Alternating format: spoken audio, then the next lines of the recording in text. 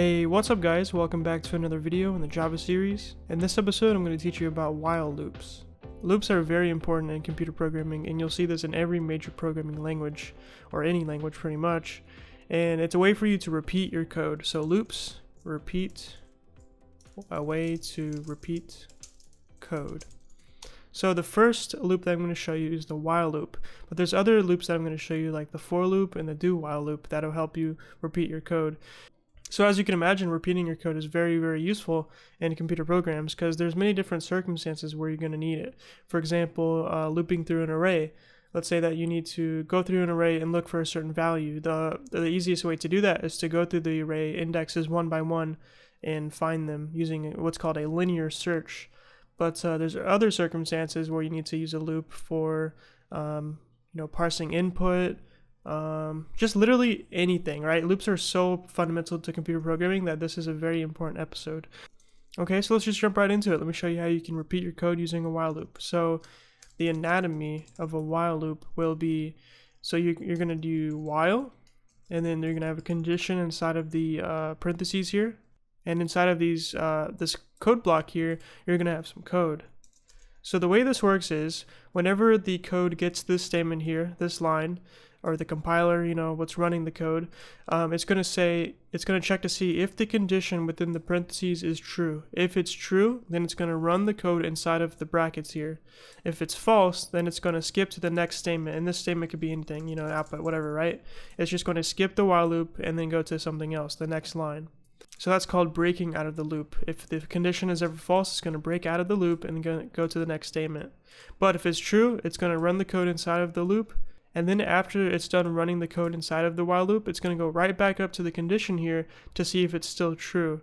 And if it's true, it's going to run it again. And then the cycle repeats. So as long as the condition is true, the code inside of the while loop will run. But if it's ever false, then it'll break out of it or skip the while loop and go to the next statement to run whatever code is there. And yeah, that's how a loop works essentially. It's based on conditions and the code inside of the, the, the loop itself. So you just have to make sure that you know when the condition is going to be true and when the condition is going to be false so that you have predictable predictable behavior. So let me show you how you can make your first while loop. Let's say that you have a number, integer number is equal to 1. So you have a number variable and we're going to say while number is less than 100, we're going to do system.out.println or sout number. So we're just going to print the number as long as number is less than 100. And then after this, we're going to do number is equal to number plus 1. Or you can do number plus plus. That does the same thing. Let's just say increment. Okay, so let's run this now and see what happens. There we go. So we get starting from 1, 1, 2, 3, 4, 5, 6, 7, 8, 9, 10, all the way up to 99, it's printing the number one by one. So let's break this down. Let's see what's happening here. So you're creating the variable, which will be the number that's used with this loop here. And we're saying while the number is less than 100, which is pretty simple, it's just plain English, right? As long as this number here is less than 100, then you're going to run the code uh, inside of inside of these curly brackets here, right? So it's going to print the number. So that's why uh, one was our first output, 1 here because it made the, the number equal to 1. It's less than 100, so it's printing the number directly to the console. And then after that, we're incrementing the number variable by 1. So now at this point, at this line of code, it's going to be 2. Then it's going to go right back up to this loop here. And it's going to say, is 2 less than 100? Yes, it is. So it's going to go right here, print it out. That's why we have 2. And then it's just going to repeat over and over and over. So it's going to keep going up and up and up until it reaches 99. So at this point, um, it's going to be 98 right here. So it's going to increment to 99. It's going to go right back up here. It's going to say while 99 is less than 100. That's true. So it's going to print it out. That's why we have 99 here. So then 99 will be incremented to 100 and it's going to go right back up and it's going to say is 100 less than 100? No, 100 is equal to 100. So this condition is now false. So it's going to break out of the loop. This is no longer going to run and then it's going to go to the next line here and therefore the program is going to end because there's no other code to run. So that's why it says the process finished with exit code 0. So it only goes up to 99. But if we were to make this, if a while number is less than or equal to 100, then you can imagine what's going to happen. This time it's going to print out 100, but then when the number gets incremented to 101, it's going to stop running. So if you want it to go all the way up to 100, you can do that. There we go. That makes more sense, right? Because once it's from 99 to 100, it's going to say is 100 less than or equal to 100. That's now true, so it's going to run it. So pretty simple, right? It's plain English. It's just while the condition is true, it's going to run the code inside the loop, and then it's going to go right back up to see if the condition is still true. It's going to repeat over and over and over until the condition becomes false. So you need to be careful though, because you can find yourself in a circumstance where the condition is never false, and therefore you're going to have an infinite loop that just goes on forever, and that's kind of scary, right? So let's say that we have integer counter is equal to zero. This will just be a simple counter variable. And we're going to do while true, we're just going to put the true boolean literal inside of there. Then we're going to run the code inside of here. So while true, we're going to say cheese is yummy and then we're gonna we're gonna put the number uh, for the counter so we can see which uh, how many times the loop has ran right? Makes sense. So then we're gonna do counter. Or actually we're gonna put counter before the output statement so that we can see because it makes sense to print out cheese is yummy 1 because it's the first time running not cheese is yummy 0 if we put it after. So we're going to do counter plus plus. Okay so try pausing the video and just try figuring out what's going to happen here when you run this. It's pretty self-explanatory, so let's see what happens. So we run this, and there we go. So now it's running forever. Look at that. The number is going up really, really fast. It's only limited by, of course, like your CPU. So it's going as fast as it can. So eventually, once it reaches the highest limit of an integer, um, it should be about a little over 2 billion, it's going to have some weird behavior. I don't think it's going to throw an error, but it will have some weird behavior. It may go negative, it may go to some weird number just because, of course, like we saw before, integers are limited uh, at like what the range is, right? So if you want a higher number, you could use a long and it would go for a very long time. That's a good pun right there. anyway, so you get the point. So if we, so what's happening here is since we're using, uh, so the while loop is asking for a condition, and this condition I mean, it doesn't have to be like an actual condition. It doesn't have to be something less than or greater than or whatever, anything like that. It could also just be anything like a boolean. It, like the only thing that needs to be inside of here is a boolean value because a condition evaluates to a boolean you can use conditions inside of here right? Same thing for if statements. As long as you have a boolean inside of the condition spot this is what i call it. So since we're having a true literal here an actual true value and it never changes because it's not tied to any variable that's changing over time it's always going to be true therefore the the loop will run forever. So that makes sense right? So just make sure that whenever you're designing programs you make sure that your loops at some point will become false, or else they're going to run forever and you're going to encounter issues. Hopefully you're liking this so far. I really like loops and this is very fun to test them out because you get to see some really cool stuff in the console. It's really fun for your first time programming to play with stuff like this. So if you want to have some fun, uh, maybe play around with this, see what kind of crazy things you can do. um, but let, yeah, let me show you another uh, implementation of the loop here, the while loop. So this is a little more advanced, but let's say that you have an array a array of doubles called test scores. So the, you can imagine that this might be like some sort of uh, test score grading application. So you have an array of test scores. We'll just make some up. So 13.4, 100.0, 90.5, um, 32.3, 5.0. So these are our test scores, and we want to go through each one and output if they're bad or good scores and we'll say a, a score, let's put it here. So a score below 50 is equal to a bad score. And then a score above 50 is a good score. Okay? And if those are your standards, then you probably need to reassess yourself if you're using the American grading system. But uh, anyway, so the way that we're going to go through each of these scores here to check if they're good or bad is a loop. Commonly, you're going to use a for loop for this. You're going to see a for loop in the next episode. But in this case, we can use a while loop. It doesn't actually matter. It's just easier to use a, while, a for loop.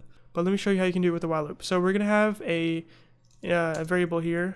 You're often going to have variables associated with your loops just to, you know, base basically it's they're going to be used for the condition every time. Not every time but very often they're going to be used to, for the condition to evaluate to false at some point. Um, but in this case we're going to use it for both the condition and also to access the array. So this variable here this variable here will represent the index of the array so that we can uh, traverse the array to access each value one by one So what we're trying to achieve is we want to start at zero because zero is the first index, and then we want to use a loop to increment it one by one, so zero, one, two, three, four, and access them one by one. And then once it reaches, you know, once it gets to an index that is not part of the loop here, I mean the array, um, then it's going to break out of the loop because of course if you try accessing an index of an array that doesn't exist then you're going to get an exception so um, let's try this out so we're going to make a while loop and the condition I want you to pause the video and see if you can do this yourself without even knowing what um, how I'm going to do it see if you can find a way to loop through each element in the array just based off your knowledge so far okay let's do this so we're going to do uh, while index is less than test scores test scores dot length. So test scores dot length is going to return the size of the array. So in this case, it's going to be 0, uh, 1, 2, 3, 4, 5. So it's going to give us the number 5, and this will just be the index. So while the index is less than the size of the array, then what we want to do is print out the score. So score, test scores, and then we can use the index variable to access the variable from the array or the value from the array. So um, this will loop forever just because we're not changing the index variable ever. So after that, we can do index plus plus. So this will increment to the next index in the array, and then we can go back up to the condition to see if it's still less than the size of the array, and if it is, we can loop. If it's not, we can break out of the loop. So based on what we have here, let's go ahead and run this to see what it does so far. And there we go. So we get score 13.4, score 100, score mm-hmm. 90.5, score 32.3, and score 5.0. Perfect. So it's successfully looping through each element in the array.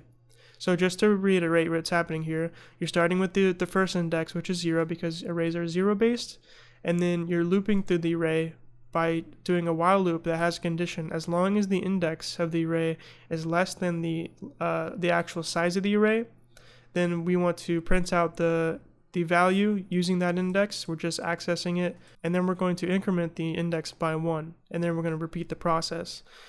So when this array runs for the first time, you're going to get the index is going to be equal to zero, and then the test scores length is going to be equal to uh, five because there's five elements in the array, and of course zero is less than five. That makes sense and therefore it's not going to run again. But eventually, when uh, the index is equal to 4, that'll be accessed in the last element, right? And uh, and then it's going to increment, so it's going to be 5 is less than 5, which yeah, obviously is false, so it's going to break out of the loop, and therefore you're not overreaching the index and trying to access the um, the array with an with an index that is not valid, right? Because then you'll get a array index out of bounds exception. And so the final thing we want to do is actually check the score, right? We want to say if it's good or bad. So how can we do that? First, we're going to cut this out.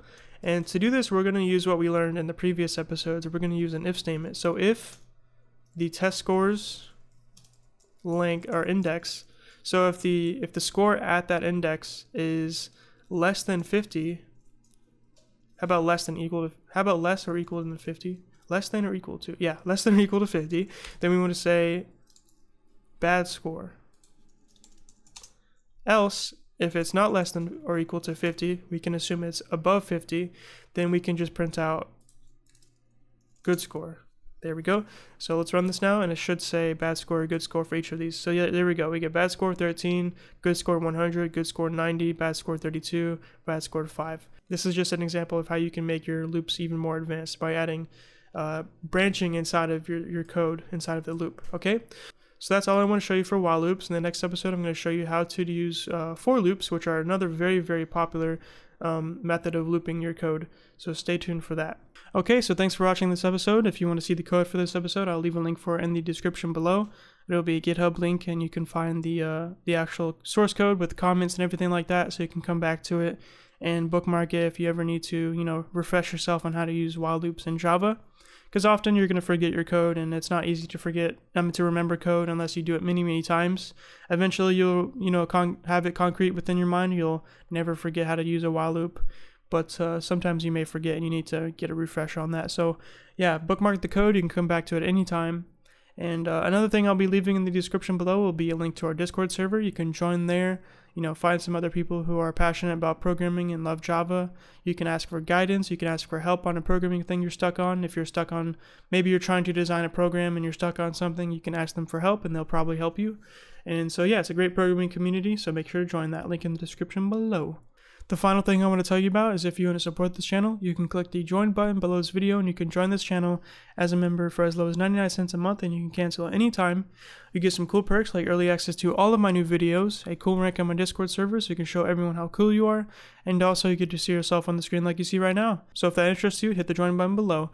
Okay, that's it. So if you like this video, leave a like if you want to see more, subscribe, and peace.